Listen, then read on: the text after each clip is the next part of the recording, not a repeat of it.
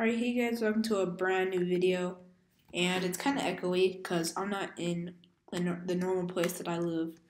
And I'm in Tahoe and I'm in a hotel. And uh, I'm actually recording in the bathroom because um, there's only one room in this whole entire hotel.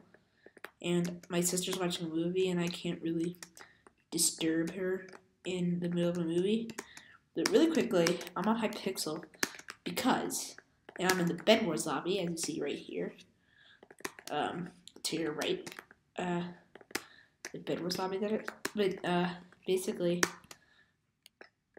uh, I'm in the Hypixel lobby because Nathan, uh, check out him, his channel, by the way, he's an awesome person, gave me a pretty good Christmas gift, and he gave me something really cool. As you see, um, in a lot of Nathan's videos, I am not MVP plus, and Nathan decided to give me MVP plus. Yeah, that's right. Nathan paid for my MVP plus.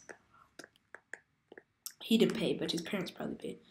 So he told his parents to do MVP plus for me, and they did MVP plus. So I failed this. But look, I can fly now.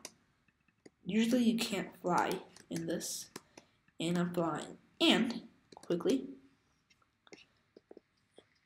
right here, I have headphones on, so if you can't hear a lot, that's because I have headphones on. But um, right here,